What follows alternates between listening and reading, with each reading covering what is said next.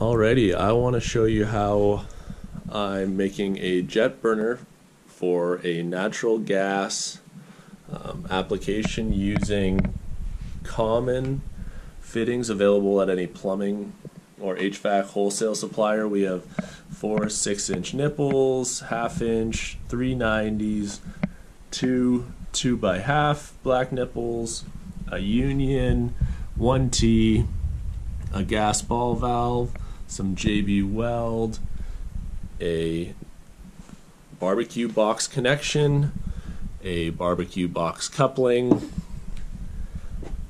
half inch male by 3 eighths flare adapter for there, and these are our jet burner tips.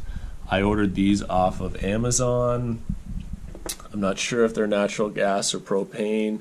Um, the orifice size, I should say, and I got the nuts, and I'll explain how those work later. But these are essentially all the components that I'm going to be using. The whole setup maybe cost me $35, something like that. I'm not saying this won't burn your, down your house. Uh, there's no way to be sure, but uh, I'm feeling pretty confident that it won't. As you can kind of see where I'm going here,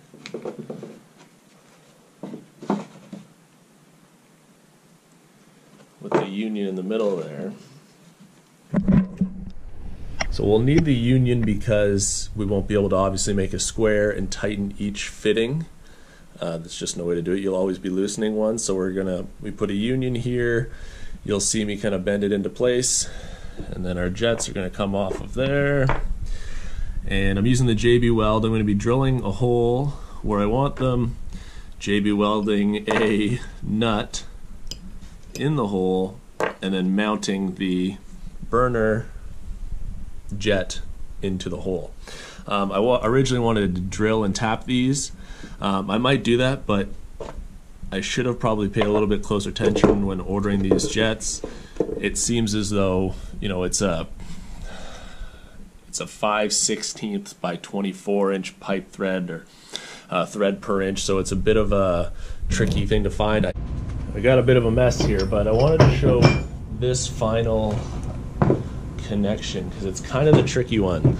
So I know it looks like a 16 year old on a Saturday night's bedroom here, but we'll clean that up with a tube sock later for style points. But so with the union, the way that it's laid out right now, it's going to be hitting. There's no way to physically make that last connection. So I'm tightening up here, and you'll see what I'm going to do is I'm going to push down on both of these simultaneously, and it should kind of, if we're lucky, lock into place. You know, safety disclaimer here if you're not comfortable with this, you know, call your buddy who's done it once before. Everyone knows he's an expert. This was that joint I was talking about. So we had, uh, it's still, as you can kind of see, it's a little cock, cockeye sideways. I think uh, even the stoners at the back of the class might be able to see what we're going for now. I'm just going to uh, finish cleaning her off. God, I hope my wife doesn't find this rag in the garbage. And uh, and then we'll get started on the tapping. Because this shit gets everywhere. Tap tap, tap.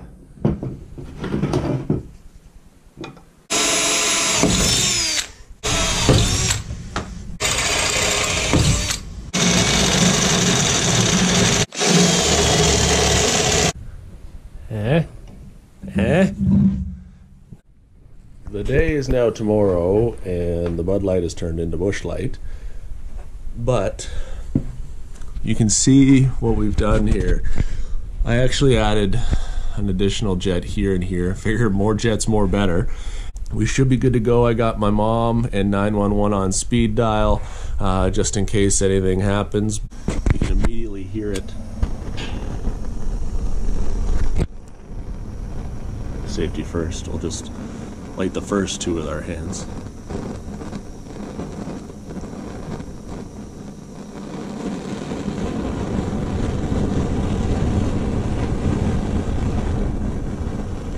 It is quite windy.